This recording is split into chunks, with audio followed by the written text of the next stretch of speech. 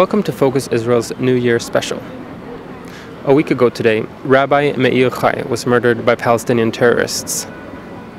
Next week, we hope to tell you more about this. We at Focus Israel have produced 14 programs this fall. We have let Israeli experts speak about current issues, experts whose voices rarely are heard in Western media. Itamar Marcus at Palestinian Media Watch told us about the hate propaganda in Palestinian TV and in Palestinian school books. Uh, because Sweden funds the Palestinian Authority general budget, they're also funding the Palestinian school books. They're also funding Palestinian television, which is filled with hatred uh, and demonization. And uh, uh so, any country who, who, who gives a blind, uh, an open check to the Palestinian Authority is directly responsible for the hatred and essentially is directly responsible for the next war that we're going to have with the Palestinian uh, children when they grow up and be adults. Yossi Klein Halevi at the Shalem Center pointed out an important question in the Middle East conflict that is almost completely ignored by the international community. See, and I keep coming back to that word legitimacy because it is, I believe, the key to this conflict the Arab world accepting the legitimacy of a Jewish state in any borders. The 67 borders, let it be the 67 borders, but let it be explicitly based on recognition of legitimacy. Israel is the only country in the world that is negotiating over its legitimacy, over its right to exist. And that, frankly, drives Israelis mad. A lot of attention was given this fall to Richard Goldstone's report about the war in Gaza one year ago, a report that was criticized by all objective experts. The journalist Amotz Asael at the Jerusalem Post highlighted the following for us. Now the question is therefore uh, not whether or not civilians were hurt. Yes, there were, tragically. But the question is, what does Mr. Goldstone himself and all those who, who applaud him, what do they suggest that people do when attacked in such a manner? To sit uh, passively and be slaughtered, or to respond. Obviously, if one is not a pacifist and if one is not prepared to go down as a victim of uh, terror to one's own death, one needs to fight back one way or another. Tell us how, and we'll do it that way. It's not enough to tell us that the method to which you resorted uh, ended up killing people. We know it did. There was no other way of doing it. Um, where was all this great energy of uh, concern for the civilian casualties during the previous seven years when the only ones targeted uh, as a civilian population were Israel's. The Swedish parliamentarians Annelie Enochson of the Christian Democrats and Lars-Åke Staxäng of the Moderates visited Israel this fall and was interviewed on Focus Israel. They clearly showed that there are Swedish politicians who wish to engage constructively in the Middle East. Hur når vi så att folk börjar prata med varandra igen? Jag känner att det är en viktig fråga. Gil Troy, history professor at McGill University, explained his understanding of the negotiations over Iran's nuclear energy program. Well, I'm a cautious optimist, despite my concerns, I would say. I'm optimistic because I have watched the Iranians over the last 20 years, and since the Iran Iraq war, the Iranians have been very cautious and have not risked their own people. They've been very effective international players by using proxy warfare through Hezbollah and through Hamas. So I don't worry necessarily about them destroying, waking up one morning and destroying the world. What I do worry about, and this is where the caution comes in, is that they are committed and they thrive on the chaos. They are committed and thrive on the terrorism.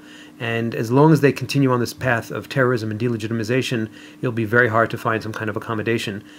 The deputy managing director of the Jerusalem Post, Caroline Glick, explained how the U.S. actually aggravated the negotiation position between Israel and the Palestinians when they started demanding a settlement freeze. And now the Americans have left Abbas in a lurch because if he goes back on the position that the Americans actually put him into, then he looks like he's a traitor to the Palestinian cause. And so what the Americans have basically done is set back any possibility of negotiations between Israel and the Palestinians probably for years because on the one hand, um, they've lost all credibility with the Israelis, which is very difficult for a U.S. administration to do. And on the other hand, they've just lost all credibility with the Arabs. So nobody believes anything that the Obama administration says anymore. And everybody's been placed into these positions that they, particularly on the Arab side, that they're incapable of changing.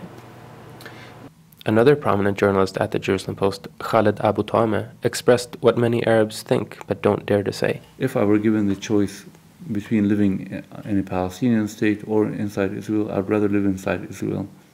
If you ask me on a personal basis, what do I prefer? I prefer to live in a country of law and order and where there's democracy, and that's Israel.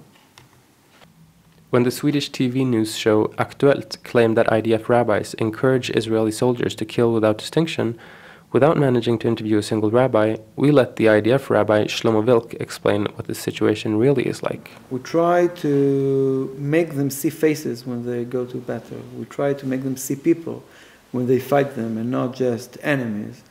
And then I think maybe one day this what will bring what will make them moral soldiers. And even if they fight and even if God forbid they have to kill, they still see faces and understand what they're doing. The French media analyst Philippe Karsenty explained what is at stake in the news reporting, and that the lies that are spread about Israel fan the flames of extremism, which leads to people being killed. A lot of people don't know the effect of the Al Dura case. What happened with, with this news reporter? What was the effect on world opinion? Well, on the world opinion, it happened, it was a year before 9 11. It was just the starting point in the Intifada, and bin Laden used it to incite before 9-11. It has been used also to justify the beheading of Daniel Pearl, the Wall Street journal, uh, journalist. But it's also been used by uh, most of the Muslim countries in postage stamps, street names, building, monuments, posters, everywhere.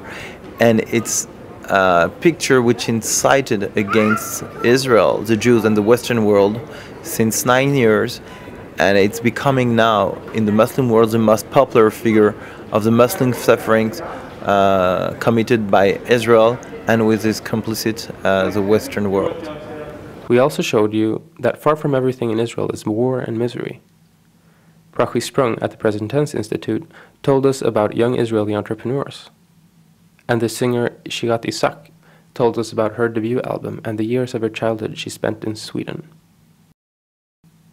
You got glimpses of Jewish holidays and celebrations, both the more known ones like Hanukkah and the less known ones like Pidyon HaBen. We also showed you that IDF soldiers are people and not monsters, like the IDF reservist Joel. Jag är religiös, jag tror på att vi ska vara här i Israel. Ehm, och det är inte självklart att vi är här. Det är ingen självklarhet och ingen sa att eh, livet skulle vara lätt och eh, eh, lämna allting åt sidan utan det här är en del av livet och det, det, driver, det är det som driver mig. Det, det finns inget annat val, någon måste göra det.